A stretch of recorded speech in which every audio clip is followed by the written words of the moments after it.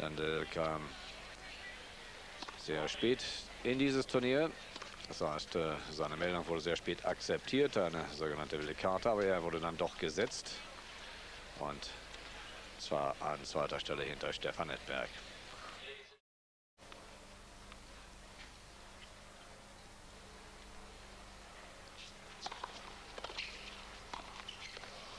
Wiederum ein Volley, den ein Edberg in seiner Normalform nicht verpatzen würde. Der erste Breakpoint für Ivan Lendl.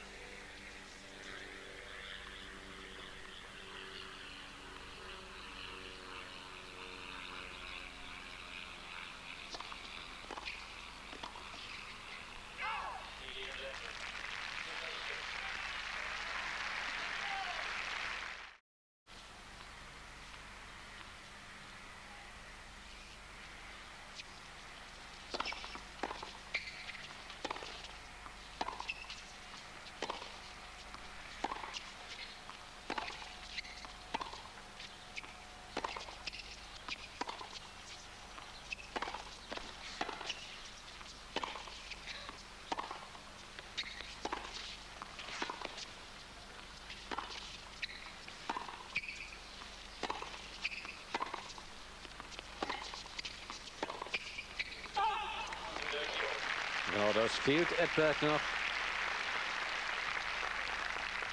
Die Sicherheit, mit der Ivan Ende spielt. 30 beide.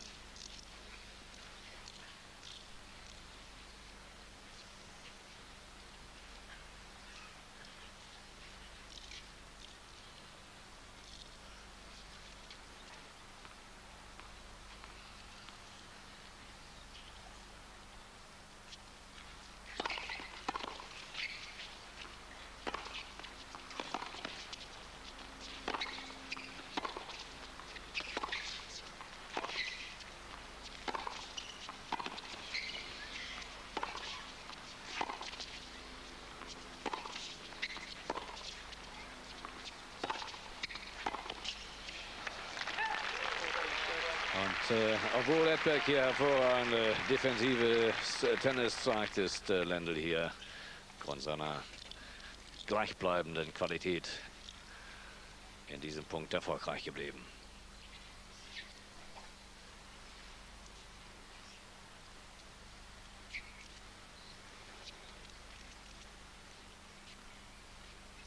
Aber Edberg scheint ein wenig besser seinen Rhythmus gefunden zu haben.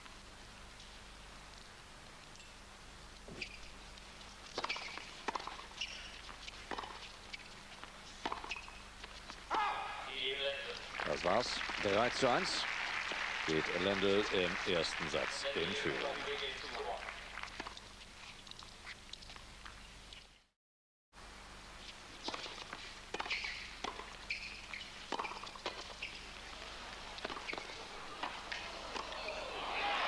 Brillantes Rallye hier.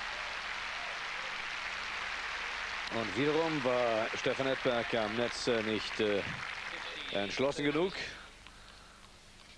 Das äh, war die Gelegenheit, wann, als er diesen Ballwechsel an Ende hätte bereiten müssen. Und äh, Ivan Lendl wiederum mit einer brillanten Antwort auf Stefan Edbergs Volley da.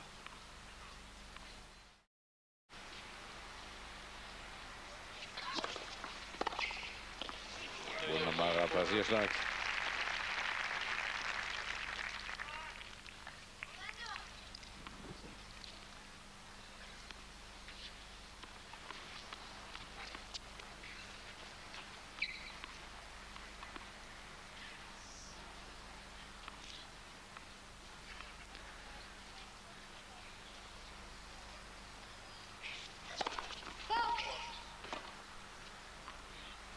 Zweite Breakpoint für Ivan Lendl.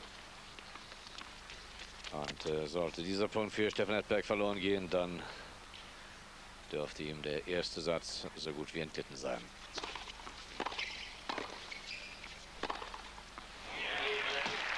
Von der Grundlinie aus, brillant dieser Mann. Brillant Ivan Lendl.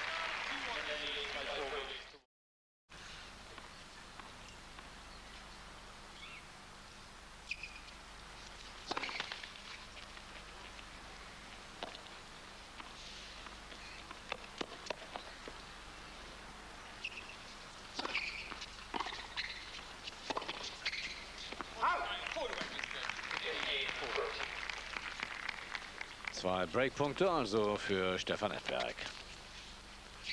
Großartige Chance.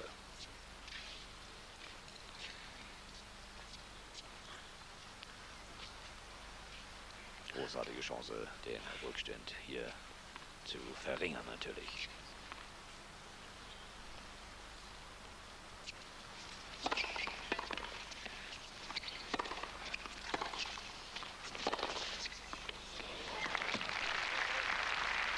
Und Geschwindigkeit, das war die Antwort in guter Platzierung von Ivan Lendl. Ein weiterer Breakpoint bleibt Stefan Edberg noch.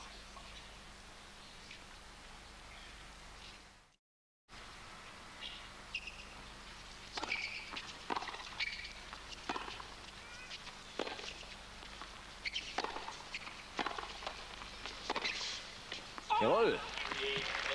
Und äh, damit hat Stefan Edberg einen Punkt zurückgewonnen, einen Breakpunkt zurückgewonnen, wenn man so will. Der Spielstand 4 zu 2. Und äh, jetzt ist entscheidend, was er mit seinem eigenen Aufschlagspiel macht.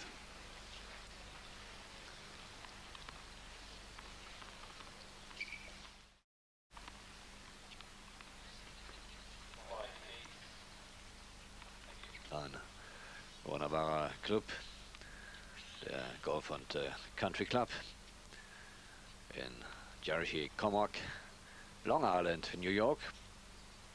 Und äh, Stefan Edberg versucht hier auf 4-5 zu verkürzen. Er muss seinen Aufschlag hier gewinnen, sein Aufschlagspiel, sonst ist der erste Satz flöten.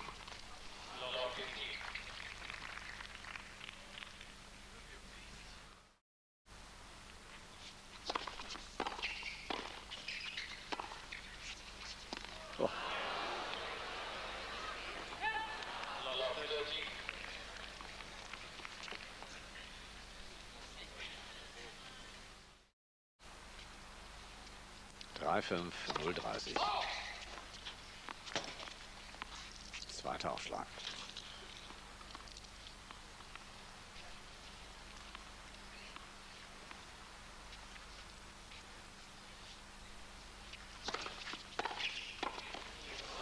Wiederum.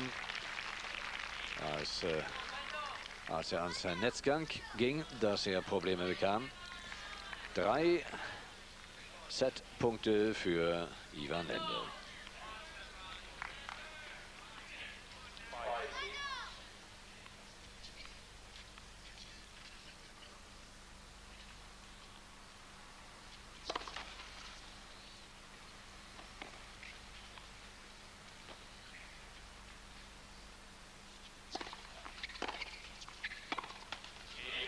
Er braucht nur einen. Und damit steht es 6 zu 3. Und Ivan Lendl gewinnt den ersten Satz mit diesem Ergebnis nach einer relativ enttäuschenden Leistung von Stefan Edberg. Mir scheint, dass äh, Stefan Edberg im Augenblick äh, sehr, sehr, sehr nervös ist. Er hat äh, seine Fähigkeiten am Netz so gut wie ganz verloren.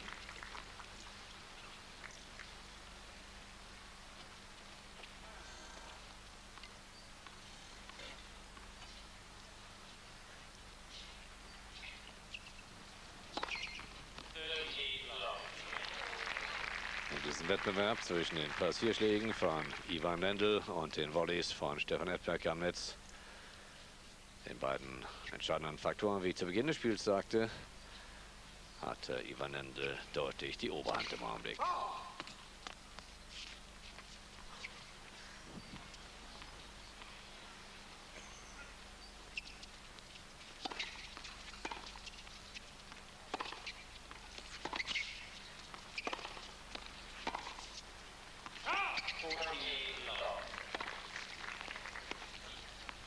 Lange Rallyes von der Grundlinie aus haben in der Regel dazu geführt, dass Ivan Lendl die Oberhand behielt und Hedberg das Nachsehen hatte.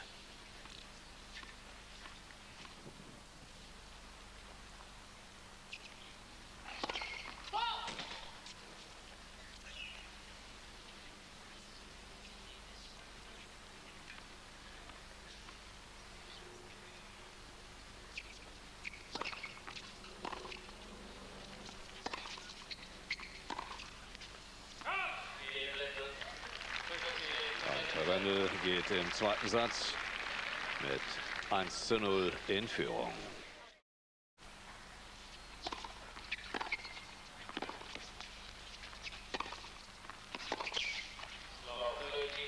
Die Van Nendels Bälle sind äh, jeweils so tief, dass Steffen Erdberg große Mühe hat, hier die Initiative zu ergreifen.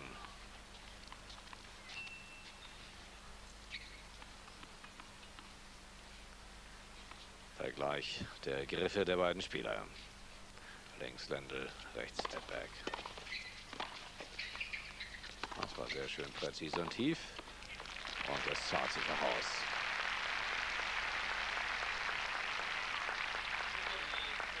War ein schwieriges Volley und es dürfte ihm, hier sehen wir es noch einmal.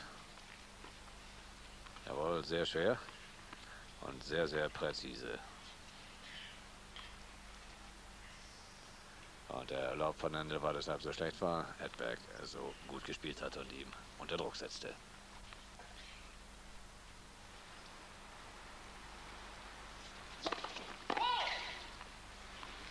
Zum Glück für Stefan Erdberg war dies ein Aufschlagfehler.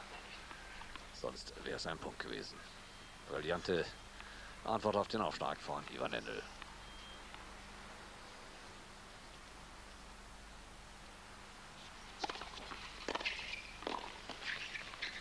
Volley. Und drin. Einer der favorisierten Schläge von Ivan Endel. Auch im Halbfinale gegen McEnroe kam er mit einem solchen aus dem Lauf geschlagenen Vorhand entlang der Seitenlinie zum Zug. Und das war einer der entscheidenden Bälle im letzten Satz bei einem der letzten Punkte.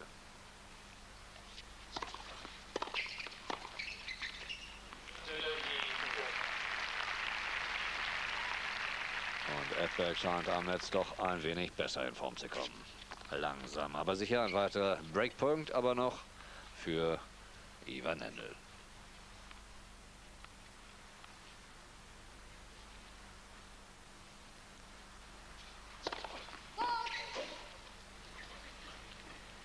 Zum Glück saß der Ball ja auf der anderen Seite des Netzes.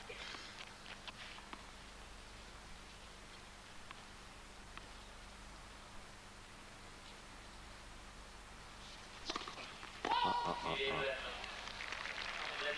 der erste Doppelfehler von Stefan Edberg. Und nicht nur das.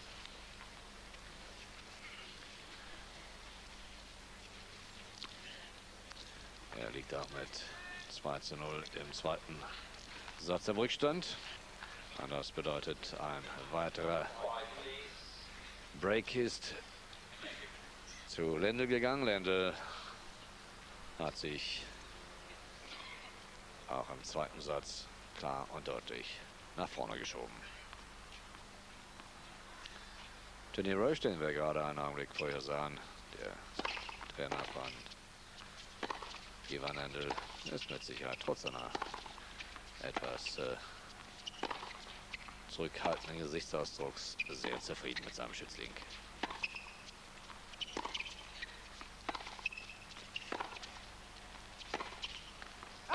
Uh. Sehr, sehr knapp. Da darf er enttäuscht sein.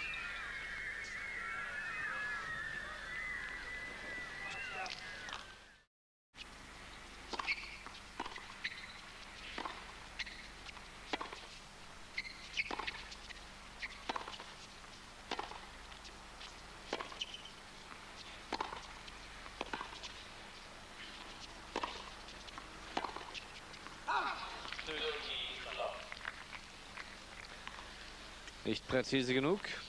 Der Rhythmus ist äh, inzwischen da, ist nicht mehr ganz so wild, wenn er einen Fehler macht, aber es fehlt noch ein wenig die Präzision.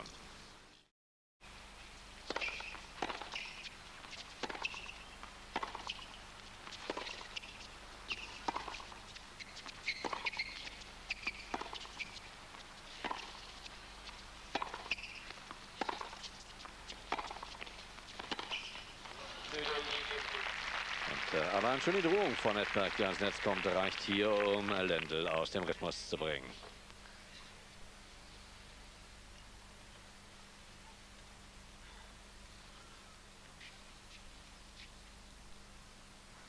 Edberg muss jetzt ein wenig waghalsiger werden. Sonst entklart ihm nicht nur dieser Satz, sondern damit auch das Match.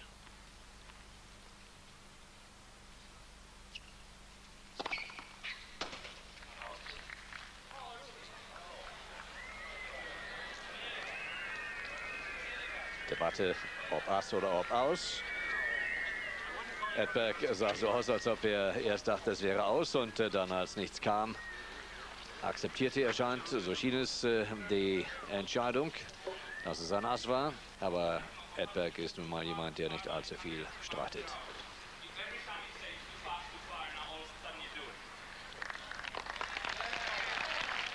Längere Rede.